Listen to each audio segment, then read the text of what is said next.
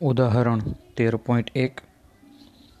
Ion એટલે કે લોખંડના ન્યુક્લિયસ માટે દળ આપેલું છે પંચાવન પોઈન્ટ પંચ્યાસી એએમયુ એટોમિક માસ યુનિટ. અને તેના માટે કેપિટલ એ છપ્પન આપેલા છે. તો તેના ન્યુક્લિયસની ઘનતા શોધો. એટલે કે આયન જે છે, એની અંદર પ્રોટોન અને ન્યુટ્રોનની સંખ્યાનો સરવાળો જે છે દેટ ઇઝ ફિફ્ટી સિક્સ અને એનું દળ જે છે, એ છે પંચાવન પોઈન્ટ પંચ્યાસી એએમયુ તો ન્યુક્લિયસની ઘનતા આપણે શોધવાની છે મિત્રો. હવે સૌથી પહેલાં અહીંયા જો ચર્ચા કરીએ, તો માસ ઓફ એફ ઈ તમને આપેલી દીધું છે કે fifty five point eighty five AMU તો ફિફ્ટી ફાઇવ પોઈન્ટ એટી ફાઇવને આપણે એમ નંબર રાખશું અને એટોમિક માસ યુનિટમાંથી આપણે એને કિલોગ્રામમાં કન્વર્ટ કરવા માટે one point six seven into ten raise to minus twenty seven મૂકશું એટલે આ કિલોગ્રામમાં કન્વર્ટ થઈ જશે અને પરિણામે મને જવાબ મળશે નવ પોઈન્ટ સત્યાવીસ ગુણ્યા દસની માઇનસ છવ્વીસ ઘાત. કારણ કે મિત્રો અલ્ટિમેટલી તમને ઘનતા શોધવાનું કીધું છે અને ઘનતા જે છે ધેટ ઇઝ દળના છેદમાં કદ. ઓકે?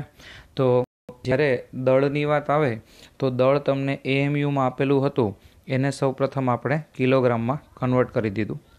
હવે વાત કરીએ આપણે કદ વિશે. તો કદ વિશે વાત કરવી હોય, તો ત્રિજ્યાનું સૂત્ર તમને ખબર છે કે આર બરાબર R zero A raise to one by three જ્યાં આર ઝીરો જે છે that is one point two fermi A fix છે. એની કિંમત તમને આપી દીધી છે છપ્પન ફિફ્ટી સિક્સ તો ન્યુક્લિયસ છે એ પોતે ગોળાકાર છે. એટલે ગોળાનું કદ જે છે એનું સૂત્ર four by three pi r cube થશે. તો four by three pi r cube, એમાં ફોર બાય થ્રી અને પાઈ એઝ ઇટ ઇઝ રહેશે. જ્યારે આર ક્યુબ આપણે કરીશું, ત્યારે મિત્રો શું થશે ને એ જોજો. આર ક્યુબ કરીએ ને એટલે આ પદનો ક્યુબ થાય. હવે એનો ક્યુબ થાય ને એટલે આર ઝીરોનો ક્યુબ. અને આર ઝીરોની કિંમત છે વન પોઈન્ટ ટુ ફર્મી તો વન પોઈન્ટ ટુ અને ફર્મીને મીટરમાં ફેરવો એટલે દસની માઇનસ પંદર ઘાત અને એનો ક્યુબ ત્યાર પછી A raise to one by three એનો ક્યુબ કરશું તો આ વન બાય થ્રી અને થ્રી બે કેન્સલ થઈ જાય. તો બાકી રહેશે ખાલી એ અને એની કિંમત છે છપ્પન.